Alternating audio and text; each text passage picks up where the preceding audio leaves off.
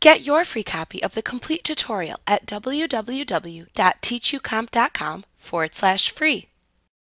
The interface in Word 2019 and Word for Office 365 is like the interface in previous versions of Word. New users of the program, as with any program, should start by familiarizing themselves with the working environment. You should start by learning the names and locations of the tools you need to create Word documents. The first object to examine is the ribbon that appears at the top of the application window. This tool is where you can find all of the tabs, button groups, and commands available to use within the Word program.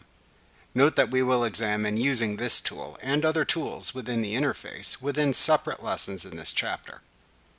You also need to familiarize yourself with the File tab in the upper left corner of the ribbon. Clicking this tab in the ribbon opens the Backstage view of your document. This view lets you access the most common file functions like creating a new document, saving documents, and printing. Above the ribbon is the Quick Access toolbar. You can easily add buttons to this toolbar for the commands you use most frequently and always want available. This is the only toolbar available in Word. Several important buttons already appear here. Autosave if saving files to OneDrive or SharePoint, Save, Undo, and Redo or Repeat. You can easily remove any buttons you add to this toolbar too. At the top of the window, the name of the current document that you have open appears. This appears to the right of the Quick Access toolbar in an area known as the title bar. Below all the tools, the current document appears. This is where you create the actual content of the document you do most of the actual work in Word in the document window. At the right side of the document is a vertical scroll bar.